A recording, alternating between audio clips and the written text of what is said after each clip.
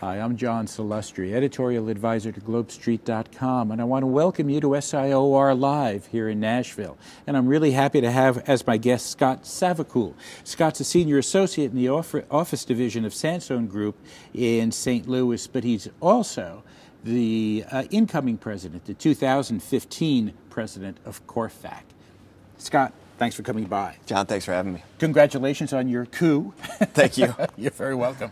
Uh, let's talk for a bit about what you see your role and your plans are as president of the group. Sure.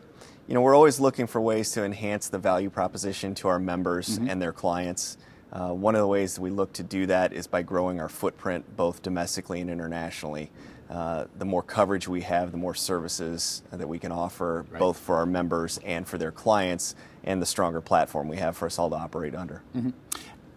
How do you relate what you see as, as your mission as president to the uh, needs, the, the, the uh, expressed needs of your membership? And I ask you that because we had a, a, large conversation before with the senior executives of SIOR and a strategic plan that they have come up with and are now developing.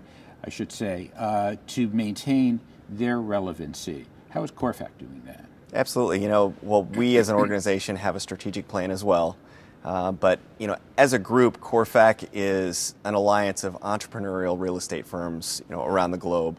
So we're very nimble and can react to what's going on around us, so that we can adjust accordingly. Right. Um, it's a very collaborative effort. So, as president, I almost see myself as more of a facilitator, uh-huh. uh, and it's my job to draw in interaction from the various committees and leadership groups within the organization to gather the necessary feedback from our members, find out what they're looking for, and then find different initiatives and ways to disseminate that throughout the organization so that we can accomplish those goals. Very interesting.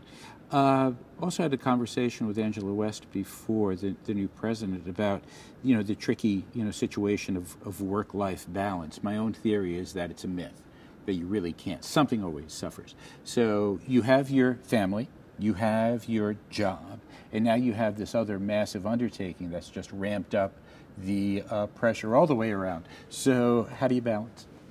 Well, you know, that, that's a never ending challenge. Uh, but in today's environment of modern technology, you know, we're always connected in one way or another. Mm-hmm. So you can take breaks here and there when you need to be home for dinner or at a child's sporting event or at a board meeting. Um, and then re engage at a later time. You can always find a way to get connected via text, via email, via social media. Uh, there's so many avenues to stay connected that you can find times to balance it so that you can be in more than one place at one time. So you're going to be the guy in the bleachers at the soccer game with the cell phone. Exactly. Okay, got it. when I have to be. when a deal's on the line, a deal's on the line. I hear you. Business first. Uh, so your your presidency is over. You've ended your reign of terror.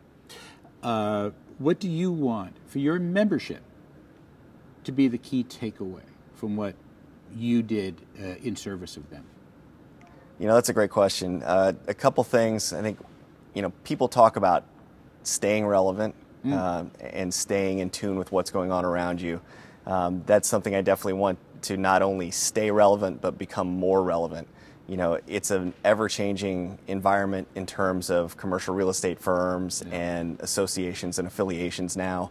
I want to keep us at the forefront of that you know, some of the initiatives we're looking at as a group, obviously staying up with technology, uh, different enhancements to our websites, our social media, uh, things of that nature, but also to making sure that there's people behind us. Mm-hmm. You know, we have a strong push for what we call our next generation where we're bringing in younger brokers, getting them more involved not only in their personal business, their firms back home, but also Corfac as an organization, so that we've got strong leaders coming up behind us. Mm-hmm. So that you know, once I do step out of that role, I know there are other people that are engaged behind me right. that are going to be able to fill my shoes and other shoes for for many years to come. And that's one of the tricky things I find about president. Pres- association presidencies in that you're there for a year and then the things that you may have put in place have the potential, the threat to just disappear. So that that continuity of management and leadership is also absolutely key. Definitely. Um, you know, and as a group, we stay very involved in, in various committees and, and groups.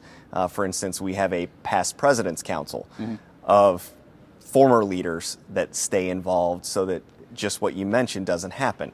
Right. When I roll out at the end of next year, I will move on to the past president's council and I will stay involved in helping guide the new leadership Right. with at least my you know lessons that I've learned during my time mm-hmm. to help guide them and help make sure that they know a, a good path to follow and they at least have me as a resource to tap into as they're trying to make the strategic decisions going down the road. Sounds like a wise path, and my my best wishes for you for you know a successful presidency. Thank you very much. Thank you so much for your time. You bet. Thank Best you for having luck. me. And I want to thank you for joining us on Globe Street TV.